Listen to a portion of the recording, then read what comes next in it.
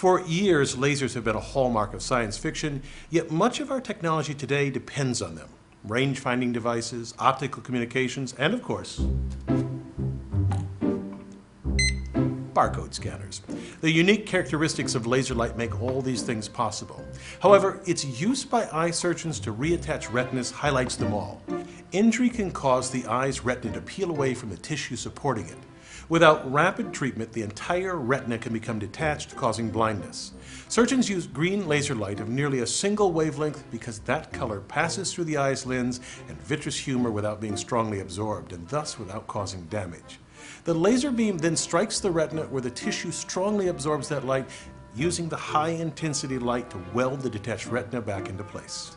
The beam's narrowness allows the surgeon to affect only the area of the retina that needs to be repaired, areas as small as 30 microns.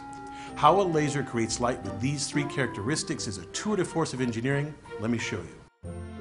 Any glow-in-the-dark toy can illustrate the basic principles of creating laser light. This glows because the zinc copper based compound coating the inside can absorb energy from a light source and then later radiate it as light. The light provides energy to electrons in the coating, promoting them to higher energy levels. Once the light is off, these electrons slowly lose their added energy and return to their lower energy ground states. The energy lost is given off as light. A closely related phenomenon lies at the heart of a laser. Let me tell you about the engineering in the very first laser based on ruby.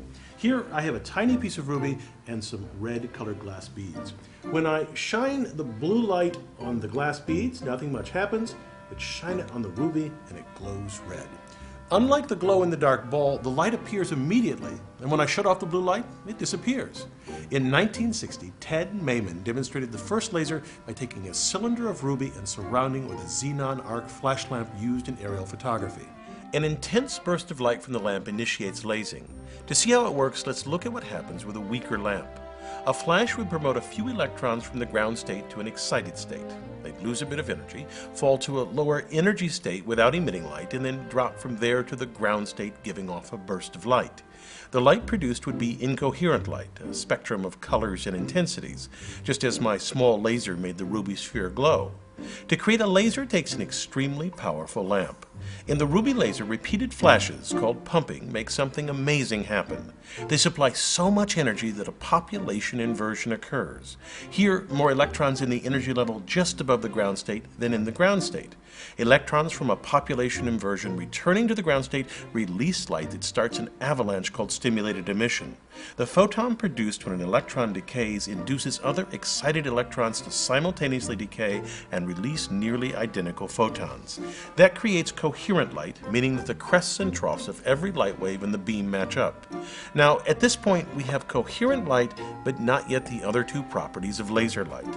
To get a narrow beam with all the light rays parallel and of a nearly single wavelength requires an addition to the ruby rod.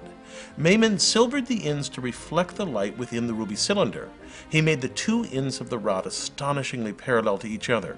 From top to bottom, the distance between these two mirrors differs by no more than 200 Inside this resonant cavity, two things happen. First, any light rays that don't line up with the axis eventually just exit out the side of the cylinder, and the light parallel to the axis becomes intensified and narrowed in wavelength. The mirrored ends create a standing wave, which means only light of particular wavelengths can exist inside the cavity.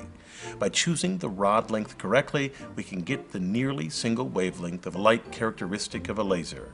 A small hole in one of the mirrors, or a partially silvered mirror, allows the light to escape, creating the familiar beam. Now, since the first ruby laser was created, lasers have become easy and cheap to manufacture. For instance, this laser pointer uses a semiconductor diode to produce light. Although many innovations and improvements have occurred since 1960, the essential principles are the same. I'm Bill Hammack, the Engineer Guy. This video is based on a chapter in the book, Eight Amazing Engineering Stories. The chapter features more information about this subject. Learn more about the book at the address below.